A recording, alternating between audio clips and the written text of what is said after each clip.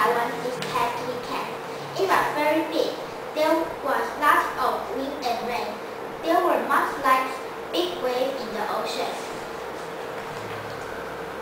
Rock built of, of mountains and a hotel fell into a river. Now we will go to David to find out what he did for, it, for the typhoon. In the typhoon, I stayed home. What do you eat in the typhoon? I eat the spaghetti. I'm Yuki. Thank you for watching the Eagle News.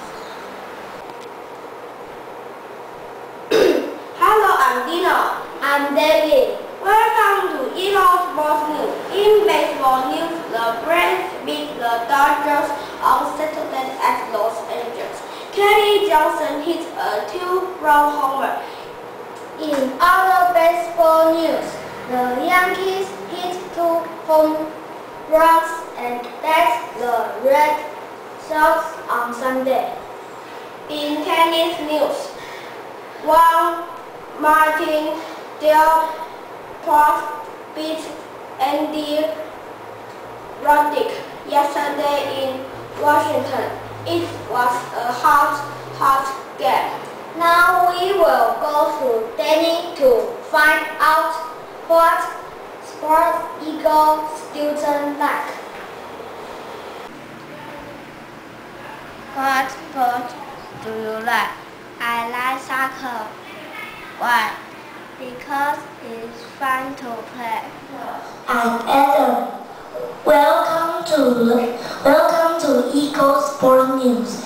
In baseball news, the Braves beat Dodgers on Saturday at Los Angeles. Kelly Johnson hits a two-run homer. In other baseball news, the Yankees hit two home runs and beat the Red Sox on Sunday. In tennis news, June Martin Del Potro beat Andy Roddick yesterday in Washington. It was a hard, hot game. Now we will go to Kenny and Ken to find out what sports Eagle students like. What do you like? I like soccer ball Why? because it's fun. Go Cooking Network. This is my helper Cici. And this is my guest Gigi. What are we cooking today? We are cooking waffles. What is uh, water and egg?